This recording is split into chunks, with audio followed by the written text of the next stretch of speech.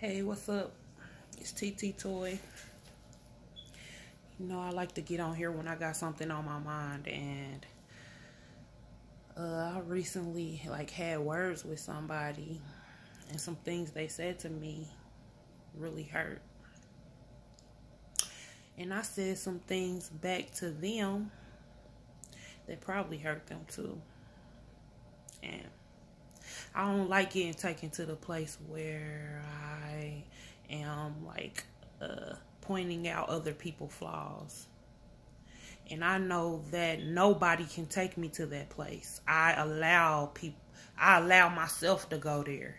You feel me? Like I got control over my mouth, thoughts, actions. So what somebody else says to me that might hurt my feelings is not a justification for saying something else back mean or it wasn't so it wasn't it was it wasn't like it wasn't true but I really want to learn how to master saying things out of love. But then I also am aware that sometimes people got you fucked up and you just need to let it be what it be and how it come out, it come out. And um a lot of times I wouldn't tell people how they had me fucked up because the way I speak and when I'm in my feelings, uh, there's no, it's hard for me to make it cute. So, so it come out real ugly when I, when I get to that place. And after letting it build up after having a connection with somebody and you and this person is having friction and me being the type of person of not wanting of wanting to spare people feelings of uh, wanting to to protect how they feel um,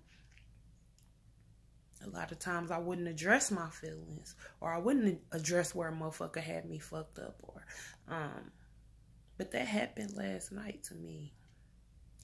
And when I go to that place, I turn ugly with words. And I don't like that because words are important. So I want to try to always learn how to use mine carefully. And I, uh, I've been in verbally abusive relationships. I've been in all kind of freaking uh, craziness. And that's just not something I want in my life anymore. I don't want to deal with people that I have to tell you how ugly you are because that's not my job. It's, it's not our job to have to uh, convince people to see, look at themselves in the mirror and see. But what I learned, it is my job to let a motherfucker know they got me fucked up. And it is my job to be myself and it is my job to express myself. And it is my job to put myself first. So, you know, after the little heated few words, I got off the phone and started crying, automatically feeling sad for being ugly to somebody who could give a fuck less about how they made me feel. And then I then I was laying there as I was crying, I was thinking, telling myself, people are people only treat you how uh, they see themselves. People treat you how they see themselves. And that's true. People do treat you how they see themselves. But in in the same token, people are reflections. And if somebody is uh in your experience treating you some kind of way by them being your reflection and it's something you need to fix in you. So I'm not, I'm not the one to be trying to to place the blame on anybody for uh, uh, us having a negative experience or a less satisfying experience with each other because it's, it all fall back on me. How do I feel about myself? Because if, if I'm loving myself and um, feeling amazing and why am I attracting this type of experience? Like what's going on inside of me?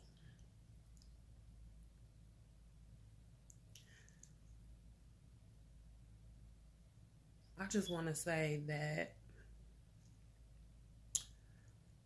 in the past, I took a lot of shitty behavior from a lot of people who've been through shitty circumstances in their life and it probably made them treat other people shitty.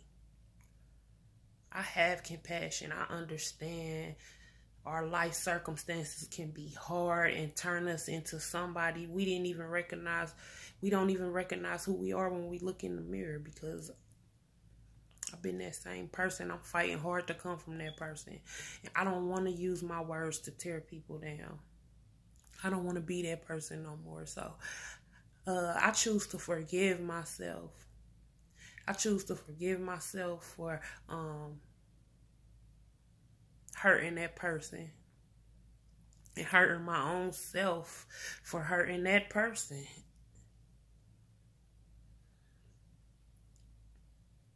But I choose to put me first. I choose to stand up for myself. I choose to tell people get the fuck out my face with that bullshit. Miss me.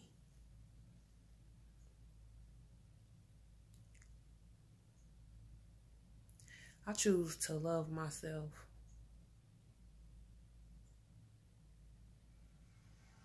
I'm learning to love myself. And I'm not going to let anything stand in the way of that ever again in life, not even my own self. I got a lot of hard work I've been avoiding. I'm facing it.